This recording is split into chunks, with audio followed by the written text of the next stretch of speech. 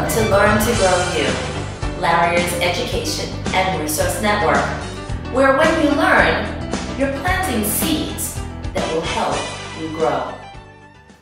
Today's seed moment is going to focus on a multi-tab fold. Sometimes when I'm teaching, I like the students to be able to either compare and contrast information or to talk about a cause and effect or to think about three types of pieces of information. Well, with foldables, you get that opportunity to chunk the information, to have students look at the main idea, and then put the details inside. Hmm, let's see, what do I want to focus on today? Comparing and contrasting Gondwanaland versus Laurasia, the two names of the water and the land for the original term of the land mass, Pangea. Let's take a fold that we've learned how to make already, which was the hamburger fold. So again, the sheet of paper is in the portrait orientation. You Folded the top of the sheet to the bottom. You laid it on the table, found that your edges were precise and exact, along with your corners, pinched and pulled. I'm going to open it back up because I want to make two different parts. I'm going to fold it along the hot dog axis or the vertical axis.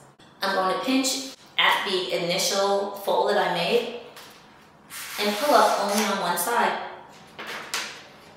Two sections at the top, one at the bottom. I'm going to take my scissors and cut from the bottom of the crease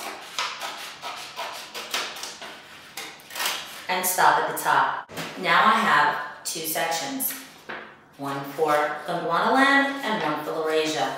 Then I'm going to label.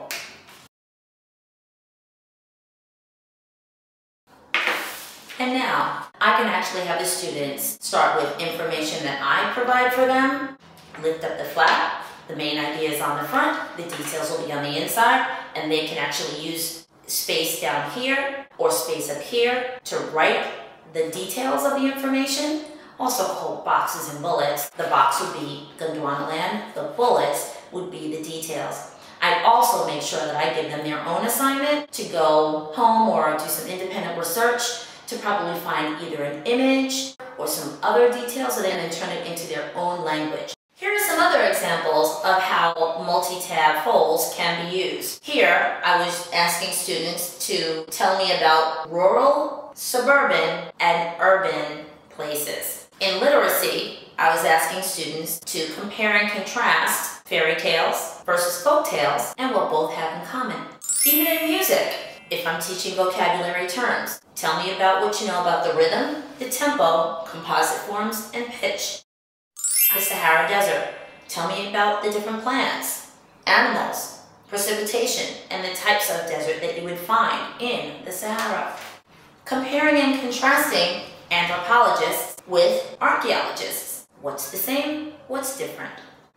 Even for training adults. What's the difference between the weaker solution and the stronger solution of sanitizing solutions in childcare. Lower Egypt and Upper Egypt and its relationship to the Mediterranean Sea.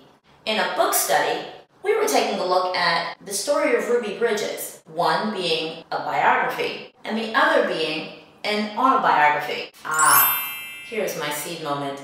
Here's where I have lower and upper school students using the parts of the flower the fruit, the stem, the leaf, and the roots. For lower school students, I probably just want them to be able to write down the title of the part of the flower on the inside, and maybe one thing that they remember. And lastly, this was some social studies information that we were taking a look at. It was on Manifest Destiny, and the type of land that was crossed by people who traveled from the East Coast across to the West Coast and how they traveled across the Appalachian Mountains, across the Mississippi River, across the Rocky Mountains, and finally to the Pacific Ocean. For teaching, for review, and for assessment, foldables are a great way to learn information. That's our today.